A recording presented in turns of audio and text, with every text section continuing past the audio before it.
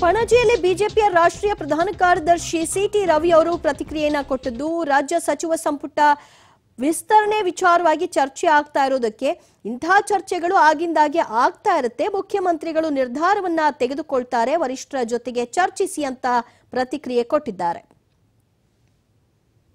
ಸುದ್ದಿ ಬರ್ತಾ ಇರ್ತವೆ. ಕೆಲವು ಸರಿ ಬೆಂಕಿ ಇಲ್ಲದೆ ಹೊಗೆ ಆಡುತ್ತಾ ಅಂತ ಕೆಲವರು ಕೇಳ್ತಾರೆ. ರಾಜಕಾರಣದಲ್ಲಿ ಹೊಗೆ ಆಡೋದಕ್ಕೆ ಸುದ್ದಿ ಬರೋದಕ್ಕೆ ಕಾರಣ ಇರಬೇಕು ಅಂತಿಲ್ಲ. ಆಗಾಗ ಆಗಾಗ ಸಂಪುಟ ವಿಸ್ತರಣೆ, ಸಂಪುಟ ಪುನರ್ರಚನೆ ಇತ್ಯಾದಿ ಇತ್ಯಾದಿ ಸುದ್ದಿಗಳು ಬರ್ತಾನೆ ಇರ್ತವೆ. ನನಗೇನದ್ರ ಬಗ್ಗೆ ಮಾಹಿತಿ ಇಲ್ಲ. ನಾವು ಗೋವಾದಲ್ಲಿ ಮತ್ತೆ ನಮ್ಮ ಸರ್ಕಾರವನ್ನ ತರೋದಕ್ಕೆ ಏನು ಬೇಕೋ ಆ ಪ್ರಯತ್ನದಲ್ಲಿ ತೊಡಗಿದ್ದಾವೆ. ನೀವು ಮುಖ್ಯಮಂತ್ರಿಗಳಿಗೆ ಕೇಳಿದ್ರೆ, ಯಾವಾಗ ನೀವು ಸಂಪುಟ ವಿಸ್ತರಣೆ ಮಾಡ್ತೀರಿ ಅಂತ ಕೇಳಿದ್ರೆ, ಅವರು ಸಮರ್ಥವಾಗಿ ಅದಕ್ಕೆ ಉತ್ತರ ಕೊಡಬಲ್ಲರು.